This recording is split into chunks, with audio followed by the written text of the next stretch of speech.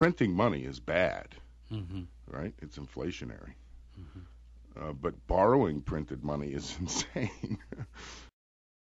interview the other day, uh, a couple days ago, with Bloomberg, and uh, he says, by any measure, real long-term interest rates are much too low, duh, and therefore unsustainable.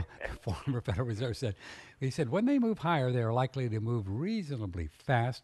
We are experiencing a bubble, but not in stock prices, but in bond prices. This is not Yeah. discounted in the marketplace.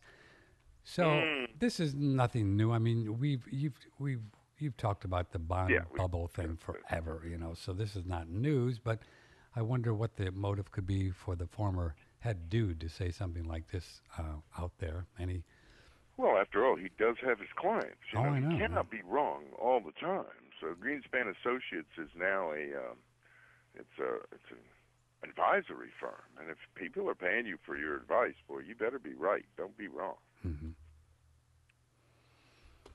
So, um, are, are there people with bonds that are just kind of hanging out there because they don't believe any of this stuff that we see or you say or Green, Greenspan says or or Bill Gross, the, the bond, but the bond dude? I mean, do they they just wait until the thing busts or or is it or already? they gamble against it.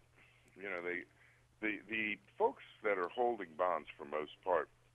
Remember, I've discussed this in the past. Are regular individuals, right? Sure. They are not. Uh, they're not institutions, corporations. So, an individual's uh, portfolio that contains bonds are generally those folks that don't think about it.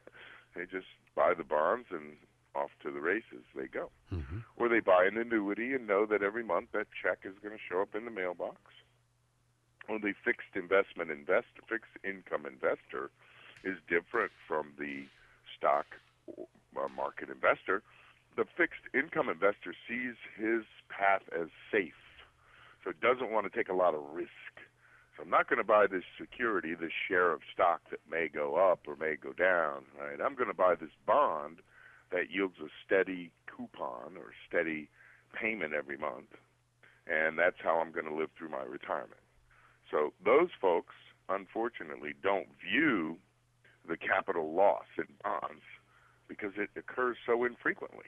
It's uh, you know the circumstance uh, where the bond your your maturity, your face value of your bond would fall, and and it would be noticed by the investor.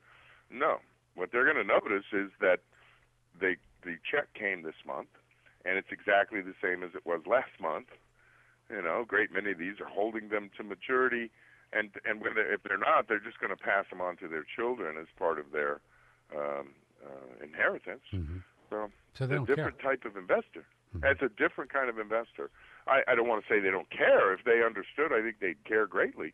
But for the most part, these are folks that, uh, you know, when they reach retirement age, they want a fixed income, and so in order to get that, they buy a portfolio of bonds and varying maturities, and they hold them, Uh, and and it yields every month throws off a check uh, that they find uh, in the mailbox or electronically deposited in their account without any fluctuation. You know, it's very steady. It's something they can count on, and so it's for that reason viewed as safe. And as Mr. Greenspan points out, it's anything but safe. So you might get your your payment every month still. Maybe they don't default, but that three percent bond that you're getting income from, or that they are getting income from, when interest rates go to six percent, um, that bond is worth half what it was. So that's a principal loss.